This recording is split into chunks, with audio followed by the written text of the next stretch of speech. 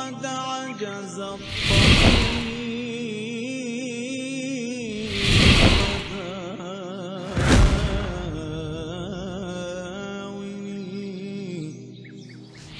الحمد لله وحده والصلاة والسلام على رسول الله أما بعد Today I'm going to narrate for you a story a story which is absolutely terrifying story the story of two brothers one called Hamdan and one called Hussein Hamdan and Hussein they were born by a father and a mother just like everybody else and they were not so religious they were middle class they had a house, cars and everything, but not so religious. Now, from these two boys, Hamdan and Hussein, Hussein was inclined towards religion and reading books and praying five times salah. But Hamdan was absolutely different. Hamdan used to love singing, He used to sing in the toilet, sing, and every time you see him, he's singing. And his mom used to tell him, Yeah, Hamdan, stop what you're doing. This singing will bring a problem to you. Stop it. You may be possessed by a shaitan. But Hamdan, because he was not well educated Islamically, he started ignoring his mom and he said, Mom, come on, there's nothing called shaitan, there's nothing called jinn. Mom, there's nothing like that. Days pass by, his mom seeing him again singing and telling him, Yeah, my son Hamdan, stay away from this singing. It's not good. Now his brother Hussein is the youngest brother. He's engaged in reading books. He sits and read books until one o'clock, two o'clock, and then go to bed. So one of the nights he was sitting in his room. His Hamdan has got a master room, and Hussein has got a master room. Alhamdulillah, their dad had a big house, Allahumma barik. So Hamdan was in his room and he was sitting right on the corner. In his room, he, he built a book place or my office that I'm only going to read books here and then go bed. So he was sitting and reading his books, reading his books. Around 1.30 in his room, he started hearing voices in his brother's room. And he started listening quietly and the voices disappear. And he started carrying on reading again the book. It didn't take 10 minutes, the voice returned back again. A voice of a woman. And he said, How can Hamdan do, do this? How can Hamdan bring, bring a woman in the house? This is not good. This is disgrace. Hamdan is bringing a woman in the house. I need to go and check. I need to go and check why Hamdan is doing this.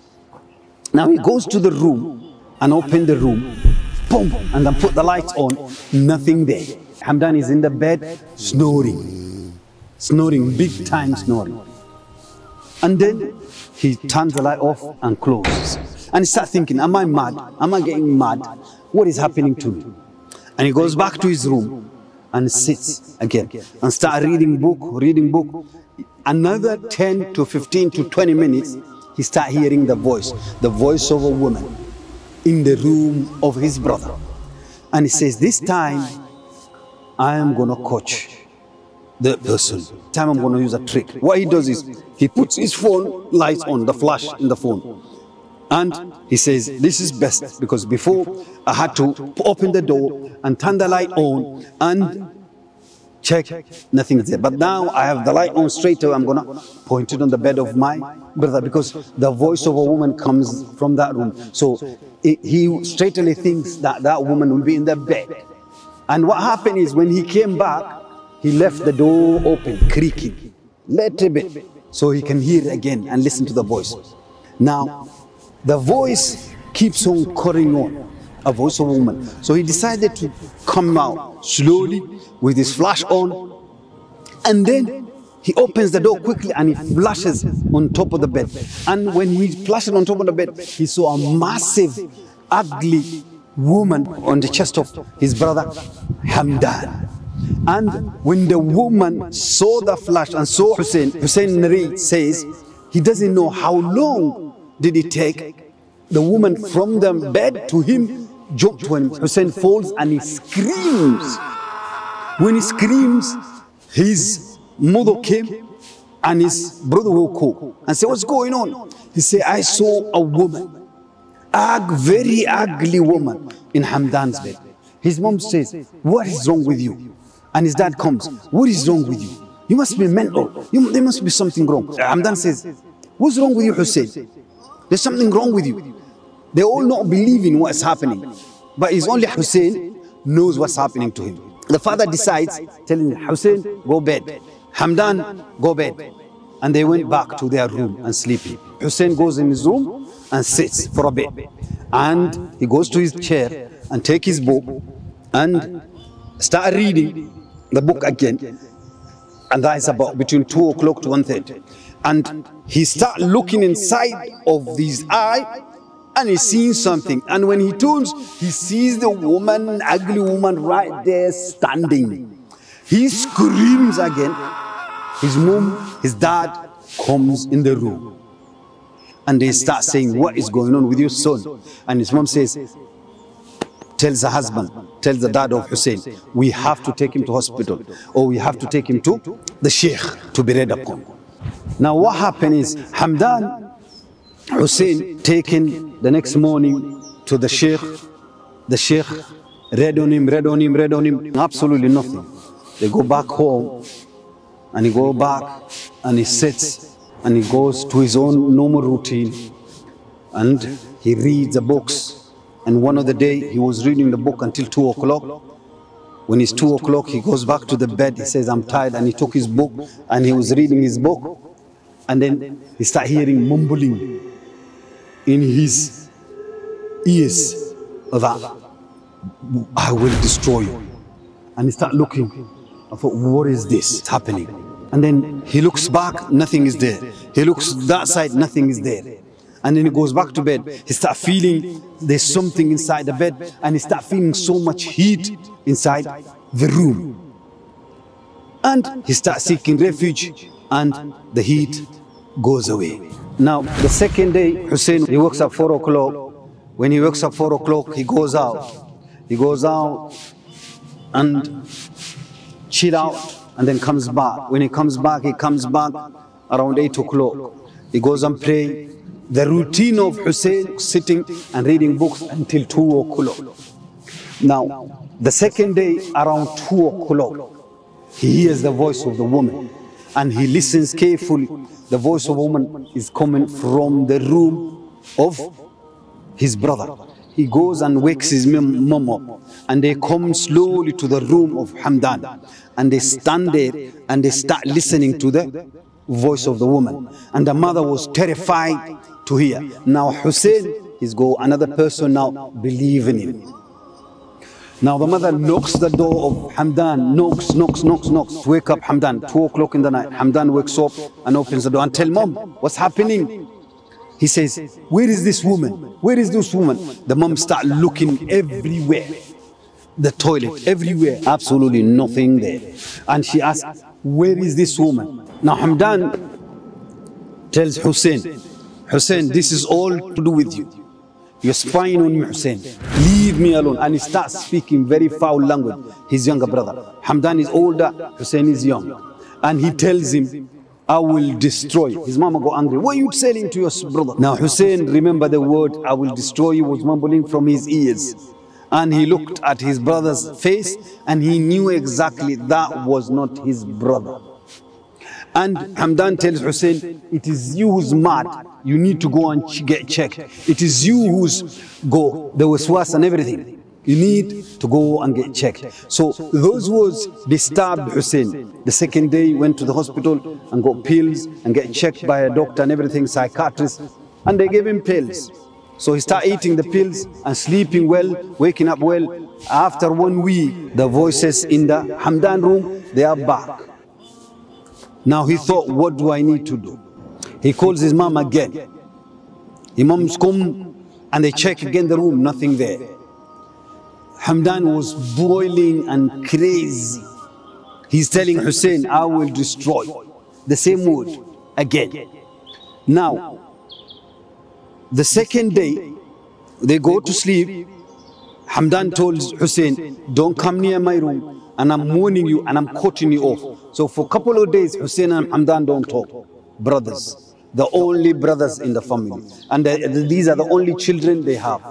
Now the second day, after a few days, two days, three days, Hussein comes back home from outside, looking at his phone, there's no charge, and looking at for his charge in the room, he could not find. He thought, oh, my brother came in the room and took my charge, and his, the charge is in his room. He says, let me go and check if he's in the room of Hamdan, because that's what the thought came to him.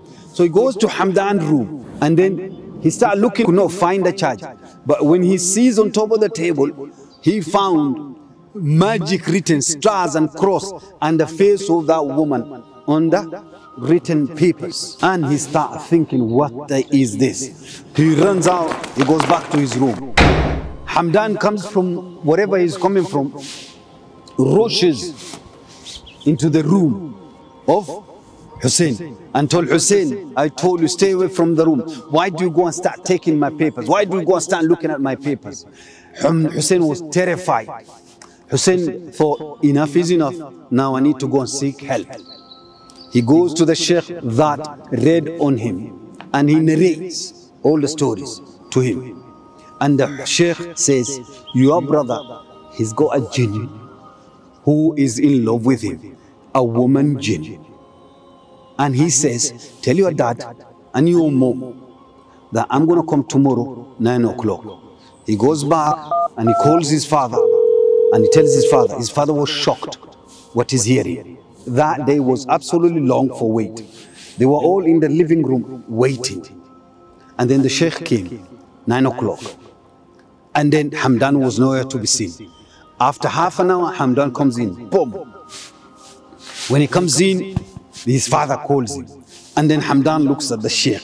He's got terrified, like death has come to him. And he is even afraid to shake the sheikh. He shook the sheikh and he sat in front of the sheikh. The sheikhs now start asking him questions. He got agitated and start running away from there to his room. His father told him, sit down here, boy. And he sat down. And he started reading on him, reading on him, reading on him. And then a woman spoke, saying, I love him. the Sheikh read for one hour and got tired and he told, listen, tomorrow I will come back, I will read on him, but I'll bring a friend of mine with him and then we'll read on him inshallah.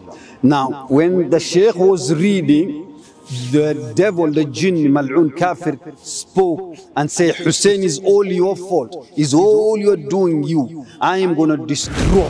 Because Hussein was awake all night. Hussein is studying. Hussein is reading Quran. Hussein is a good boy. But the devil is after him. Is his mistake. But in fact, it was Allah Rabbul guided that boy to expose Hamdan, what is with him.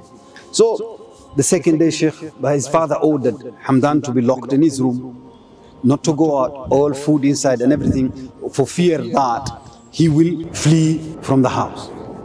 The second day the Sheikh comes, he come back with another Sheikh. He reads and read and read on the jinn. The jinn keeps on crying and saying, I can't leave. I can't leave. I love this person. He read, he read until Hamdan collapsed. When he collapsed, he woke up back normally. Sheikh gave him musks, olive oils and everything to apply and warned him until Hamdan and all, everybody in the family to hold tight to their Atul Kursi, to hold tight to uh, salahs and everything, to hold tight to adhkar and salas and everything until Hamdan you have to stay away from music and everything like that. This is a lesson for all of us.